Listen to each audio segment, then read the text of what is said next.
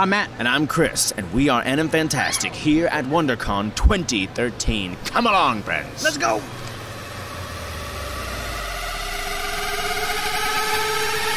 WonderCon.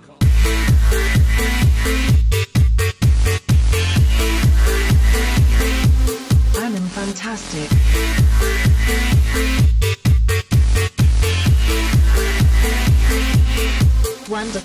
So, uh, WALL-E, can you tell us how was it working with John Lasseter? Really? Wow. Uh, and how, how was Andrew Stanton to work with?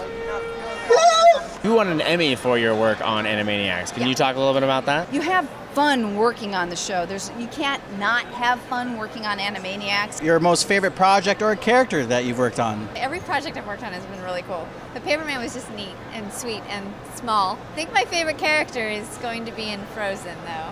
So I don't know if I can talk about her. Background Party Clown was my favorite character to work on.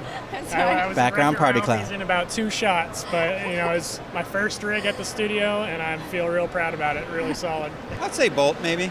Yeah, Bolt. Yeah, I had a really good time on that. Uh, rumor has it that you used your little dog, your little dog at home I did.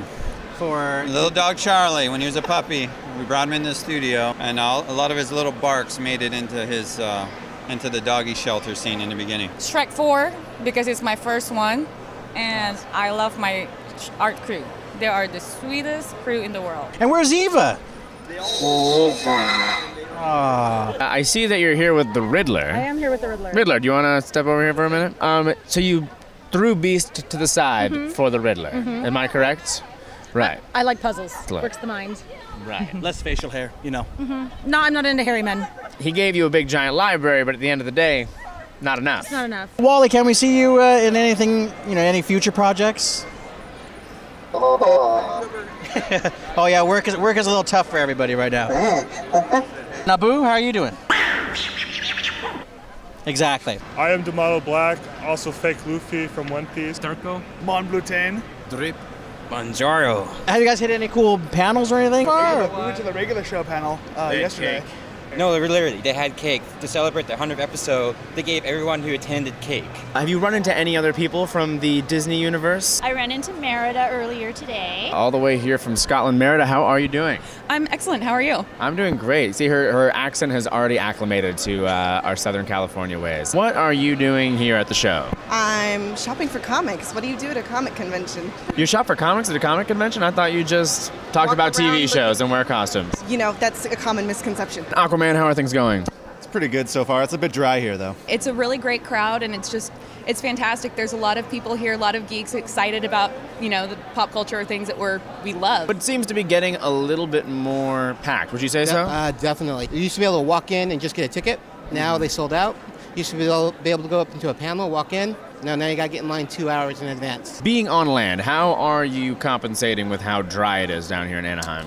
Uh, well, I got a big bottle of water in my bag, but that's all I really can do. I'm trying to take things easy, relax a little, not fight any supervillains. But if push came to shove and you had to throw down, you would protect these fine citizens, would you not? Well, some of them. And do you think that has anything to do with the fact that you've got the One Ring of Power? Do you think that that's drawing all these people here? You know, I should actually be using it more and go invisible so I can actually sneak into these panels. Are you getting the sense that Comic Con is now kind of spilling over into WonderCon? It is. This is tw- like twice as big as last year, from my opinion. I've never had to wait in line before here. Even even the King of Atlantis. Yeah, has even to I wait. have to wait. Okay.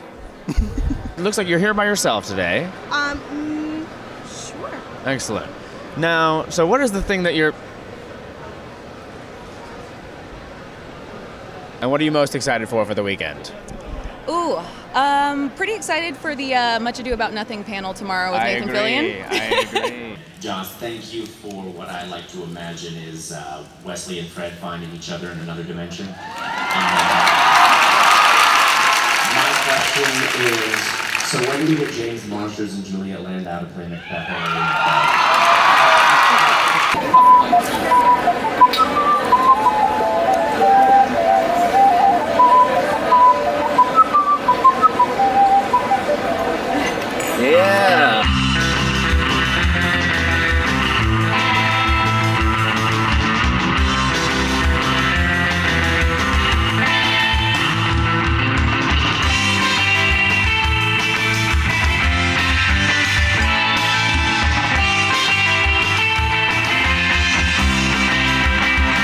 You think you sing us a little ditty?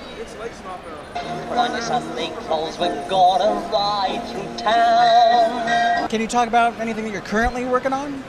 Yeah, I'm at DreamWorks right now, and I'm working on uh, Me and My Shadow. And I'm currently working on Frozen, so I'm really excited about that. Hey, me too. Look at that. It's definitely top secret. I cannot talk about that. The last movie that just came out is Croods, and I worked on it actually four years ago for the early development pieces that Chris Sanders actually used to pitch to Jeffrey. So wow. I'm very happy about that. Currently finishing up on Frozen. Did some rigging on uh, the two main characters in Paperman, and did uh, King Candy and Sour Bill and Wreck It Ralph. Ooh, yeah, we're big Alan Tudyk fans. Rick, can you tell me what you're doing right here? Commission chibi, you know, since they're not that like high in price, you know, they sell more and they're more appealing to not only just the kids, but like the kid in you. Have you had any time to walk around Artist Alley and check out what some of those guys are doing? Sometimes you can find a good like diamond in the rough, where you can find that upcoming artist. Artist Patrick Ballesteros. How you doing today, Patrick? Good, good. Is there a favorite print that you have here? I would have to say my favorite print is actually the one right here called Browncoats. Uh, it got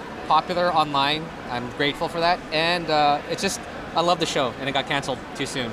It did. It I was bummed. I'm really just trying to voice as much as I can uh, through my Facebook, just to try to spread the word as much as possible, just to let artists realize the power they have and not let the studios or just these individual companies take advantage of them anymore and just know your rights, educate yourself, and you start to, uh, you know, you start to make a good career out of this. Otherwise, you're going to be a starving artist, you know?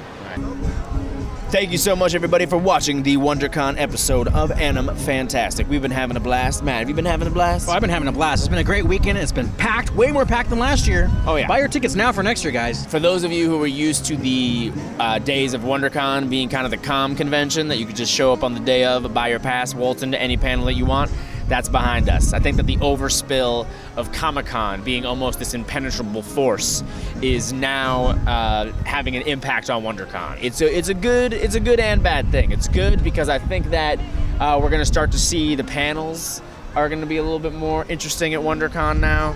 But at the same time, it's going to be a little harder to get into things. Thank you guys so much. Thank you to everybody who interviewed with us in this episode. And yo, thank you for out there for watching it. Be sure to subscribe if you haven't already. Follow us on Twitter, Facebook. And I'm fantastic. Smoother than plastic. Smoother than plastic. All right, everybody. See ya.